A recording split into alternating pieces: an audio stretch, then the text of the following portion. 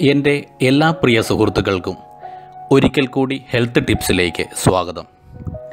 നമ്മൾ പലപ്പോഴും ശ്രദ്ധിച്ചിരിക്കും ഡോക്ടർമാർ മരുന്നുകൾ നിർദ്ദേശിക്കുന്ന സമയത്ത് ഭക്ഷണത്തിന് മുൻപ് അല്ലെങ്കിൽ ഭക്ഷണത്തിന് ശേഷം എന്നിങ്ങനെ നിർദ്ദേശിക്കാറുള്ളത്. ഇതിന് പിന്നിലെ കാരണം എന്ത് എന്ന് ഒരു തവണയെങ്കിലും മനസ്സിൽ ചോദിച്ചിട്ടുള്ളവരാവും നമ്മളിൽ ഏറെയും. അതിനെക്കുറിച്ചാണ് ഞാൻ ഇന്ന് നിങ്ങളോട് പറയുവാൻ ഉദ്ദേശിക്കുന്നത്.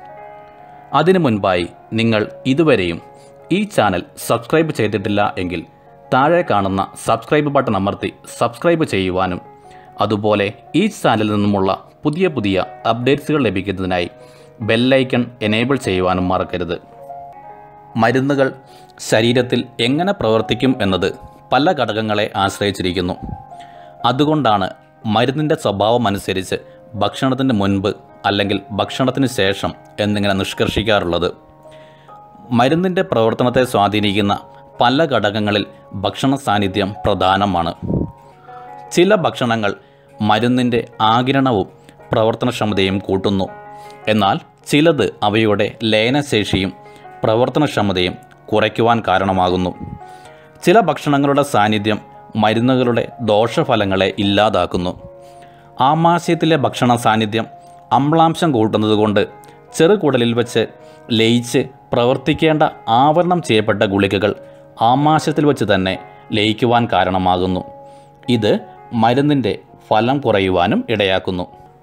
പല മരുന്നുകളും അതിന്റെ പരമാവധി ആകിരണം ചെയ്യപ്പെടുന്നത് വെറും വയറ്റിലാണ്. വെറും വയറ്റിൽ മരുന്ന് കഴിക്കുമ്പോൾ ഭക്ഷണ ഘടകങ്ങൾ ചെലുത്തുന്ന ദോഷങ്ങൾ ഒഴിവാക്കാനാവും. ഭക്ഷണത്തിന്റെ സാന്നിധ്യം ഇത്തരം മരുന്നുകളുടെ ആകിരണത്തെ തടസ്സപ്പെടുത്താറുണ്ട്. ഇത്തരം മരുന്നുകൾക്ക് ഉദാഹരണങ്ങളാണ് ഛർദിക്കുള്ള മരുന്നുകൾ അൾസറിനുള്ള മരുന്നുകൾ അതുപോലെ ഹൈപ്പോ തൈറോയിഡിനുള്ള മരുന്നുകൾ എന്നിവ. ചില മരുന്നുകൾ ഛർദി ആമാശയത്തിലോ അന്നനാളത്തിലോ അൾസർ മനം പിരട്ടൽ എന്നിവ ഉണ്ടാക്കാറുണ്ട്. ഇത്തരം മരുന്നുകൾ ഭക്ഷണശേഷം കഴിക്കുന്നതാണ് ഉചിതം. ഇത്തരം മരുന്നുകൾക്കുള്ള ഉദാഹരണങ്ങളാണ് വേദനാസംഹാരികൾ എലിപ്പനിക്ക് മറ്റുമുള്ള പ്രതിരോധ മരുന്നുകൾ അസിഡിറ്റിക്കുള്ള മരുന്നുകൾ എന്നിവ. അതുപോലെ ചില മരുന്നുകളുടെ പാർശ്വഫലങ്ങളായ വയറെരിച്ചിൽ നെഞ്ചെരിച്ചിൽ ദഹനക്കേട് വയറുവീക്കം മുതലായവ ഒഴിവാക്കുവാനും മരുന്നുകൾ ഭക്ഷണശേഷം കഴിക്കുവാൻ നിർദ്ദേശിക്കാറുണ്ട്. അതുപോലെ തന്നെ നമ്മൾ ഭക്ഷണം കഴിക്കുമ്പോൾ നമ്മുടെ ആമാശയത്തിൽ ആസിഡുകൾ ഉൽപ്പാദിപ്പിക്കപ്പെടുന്നുവെന്ന് നമുക്കറിയാം. ഈ ആസിഡുകൾ ചില മരുന്നുകളുടെ ശരിയായ വിധത്തിലുള്ള ആകിരണത്തെ സഹായിക്കുന്നു.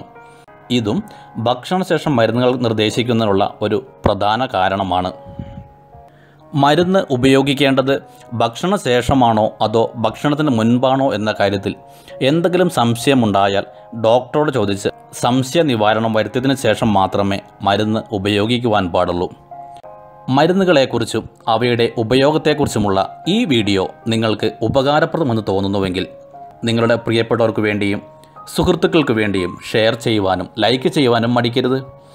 അതുപോലെ നിങ്ങളുടെ വിലയേറിയ നിർദ്ദേശങ്ങളും അഭിപ്രായങ്ങളും കമന്റ് ചെയ്യുവാൻ മറക്കരുത്.